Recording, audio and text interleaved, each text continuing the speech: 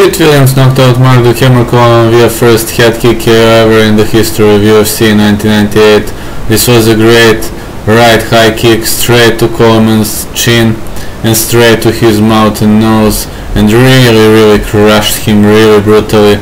Coleman went down, first KO ever in the history of UFC via leg. Amazing.